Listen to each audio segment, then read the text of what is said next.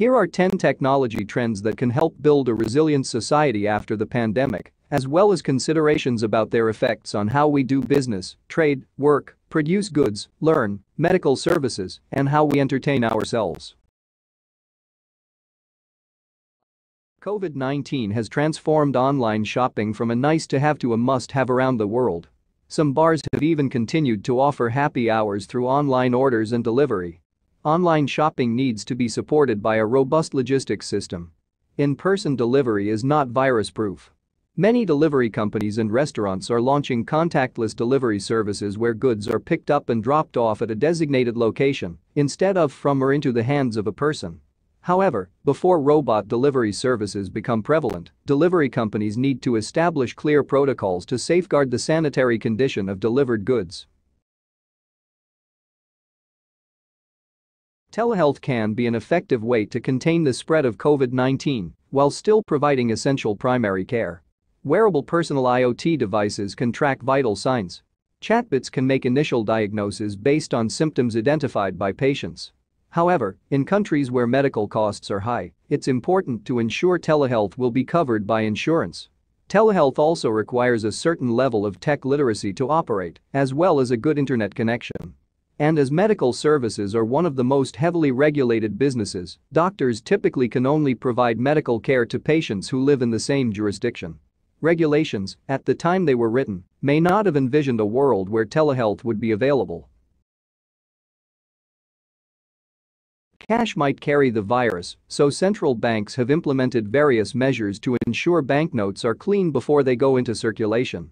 Now, contactless digital payments, either in the form of cards or e-wallets, are the recommended payment method to avoid the spread of COVID-19. Digital payments enable people to make online purchases and payments of goods, services, and even utility payments, as well as to receive stimulus funds faster. The COVID-19 pandemic has created disruptions to the global supply chain. With distancing and quarantine orders, some factories are completely shut down.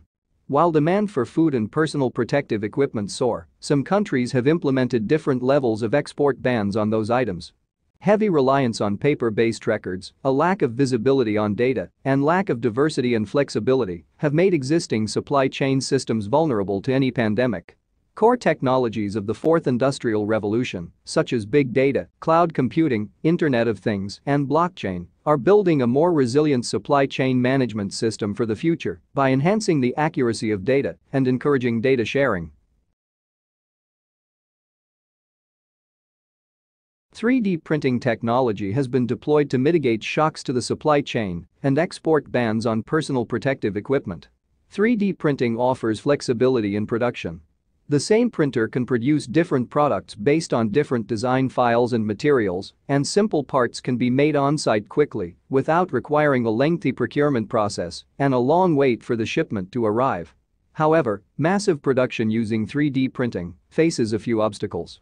First, there may be intellectual property issues involved in producing parts that are protected by patent Second, the production of certain goods, such as surgical masks, is subject to regulatory approvals, which can take a long time to obtain. Other unsolved issues include how design files should be protected under patent regimes, the place of origin and impact on trade volumes and product liability associated with 3D printed products. Many companies have asked employees to work from home Remote work is enabled by technologies including virtual private networks, voice over internet protocols. Many companies have asked employees to work from home. Remote work is enabled by technologies including virtual private networks, voice over internet protocols, virtual meetings, cloud technology, work collaboration tools, and even facial recognition technologies that enable a person to appear before a virtual background to preserve the privacy of the home. In addition to preventing the spread of viruses, remote work also saves commute time and provides more flexibility. Yet remote work also imposes challenges to employers and employees. Information security, privacy, and timely tech support can be big issues, as revealed by recent class actions filed against Zoom. Remote work can also complicate labor law issues, such as those associated with providing a safe work environment and income tax issues. Employees may experience loneliness and a lack of work-life balance. If remote work becomes more common after the COVID-19 pandemic, employers may decide to reduce lease costs and hire people from regions with cheaper labor costs. Although quarantine measures have reduced in-person interactions significantly, human creativity has brought the party online. Cloud raves and online streaming of concerts have gained traction around the world. Chinese film production companies also released films online. Museums and international heritage sites offer virtual tours. There has also been a surge of online gaming traffic since the outbreak. COVID-19 makes the world realize how heavily we rely on human interactions to make things work. Labor-intensive businesses, such as retail, food, manufacturing, and logistics, are the worst hit. COVID-19 provided a strong push to roll out the usage of robots and research on robotics. In recent weeks, robots have been used to disinfect areas and to deliver food to those in quarantine. Drones have walked dogs and delivered items. While there are some reports that predict many manufacturing jobs will be replaced by robots in the future, at the same time, new jobs will be created in the process. Policies must be in place to provide sufficient training and social welfare to the labor force to embrace the change.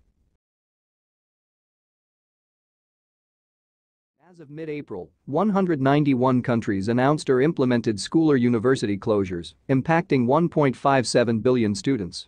Many educational institutions started offering courses online to ensure education was not disrupted by quarantine measures.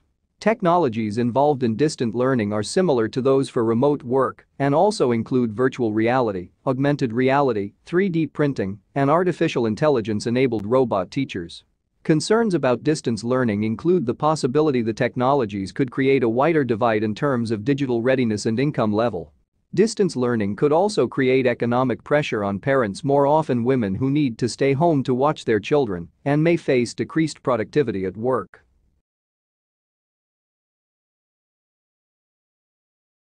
All the aforementioned technology trends rely on stable, high-speed, and affordable internet. While 5G has demonstrated its importance in remote monitoring and healthcare consultation, the rollout of 5G is delayed in Europe at the time when the technology may be needed the most.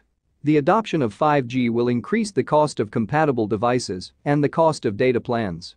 Addressing these issues to ensure inclusive access to the internet will continue to be a challenge as the 5G network expands globally. For more top 5, top 10 and amazing inventions you must see will be reviewed on this channel, please subscribe to our channel Tech District.